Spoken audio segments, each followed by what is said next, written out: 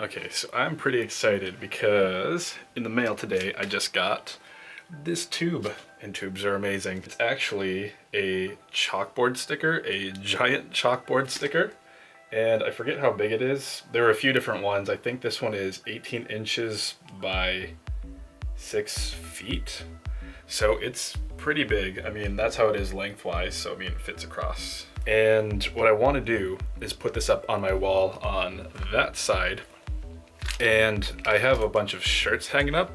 As you can see, it's gonna be those two uh, where it's gonna be going.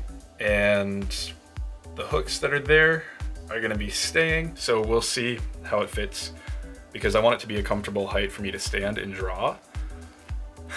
And for drawing, I'm gonna be using chalk markers. So I got these from Chalkola. And one of the, my favorite things about the case is on the back, it says here, uh, join our secret launch list and get deep discounts on all future Chalkola products. Like, yeah, chalkola.com slash premium club. That's the kind of club I want to be. Non-toxic, non-permanent. You shake it up, then you use it, and then the nibs inside, it's a bullet point. So it's sort of just like the round Sharpie kind of tip. And then you can also switch it out so you have a chisel, which is pretty nifty as well. And I have those two in there. And then I also have one here in my new carrying case. It's so nice.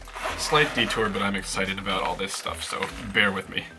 It's got little pockets on the outside, which is really nice. And then when you open it up, oh, look at the organization.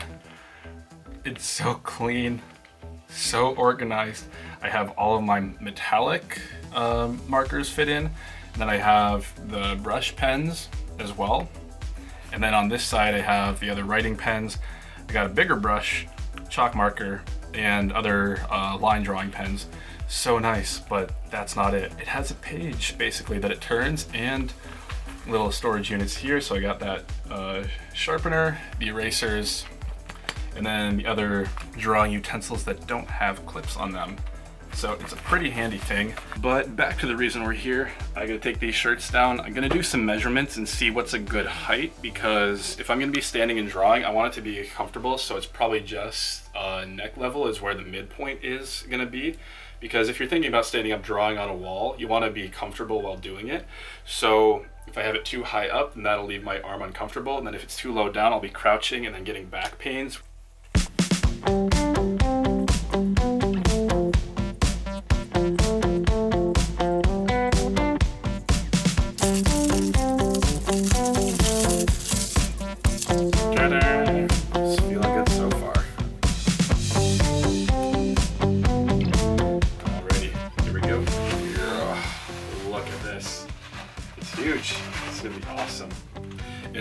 Being peel and stick, what they've also done is on the back, it's full on grid paper so that you can measure and cut where you want to so you can cut a straight line. Pick a good measurement that works for you before peeling and sticking it. So I gotta figure out what sort of a size that I want.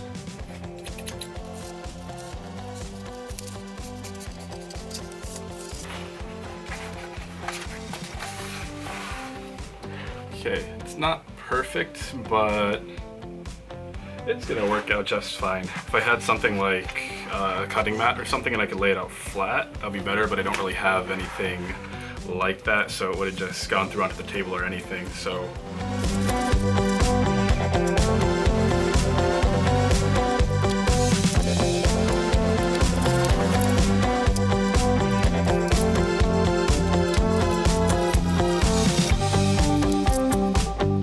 Okay, so far it's looking pretty good. But one thing with it being uh, curled up so tightly for so long is it is kind of bubbling. I just have it taped for now.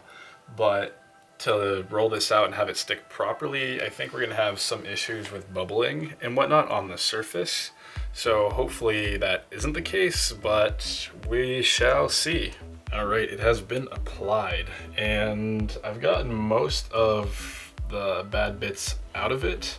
Uh, it's just this wall like a lot of things in my apartment, weren't done too well. Ta-da! It's looking pretty good, and it's pretty level with the ceiling, although the ceiling itself probably isn't all too level, so whatever. There are a few imperfections, like there are just spots in the wall, like, so you have like a little bit of a lift here, and a couple other places as well.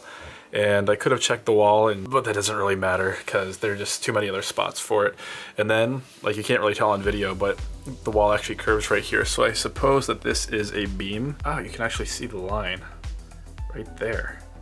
Look at that. Yeah, I'm pretty excited to use this thing, and now that it's up, I can. To wrap this up, I'm gonna write on it. I did have to shake it a few times and press the tip in to get the ink coming through, and it took longer than I thought, but here we go.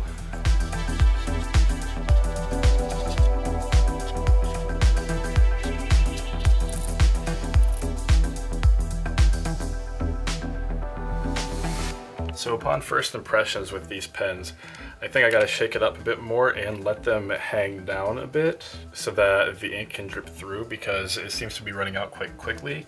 And I know with the tip being sealed and not shaken up for so long, it's pretty dry. So I think if it gets more saturated, um, then it will give me a stronger look. It's not quite the same pen that I was using at work for the chalkboard that we have there. I want to take a look at what brand that is, see how expensive those ones are, because it's a chisel tip and it works quite well. This one does have a chisel tip if you flip out the nib, which is pretty handy. Depending on the brand, it might just be a better working pen, but so far this is pretty good and I'm gonna uh, get used to writing on my wall without uh, huge repercussions. So that's gonna do it for this video.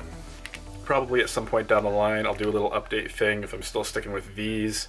Um, how the wall's doing. I don't know if it's gonna start peeling on me. It's gonna like fall down in the middle of the night or whatnot.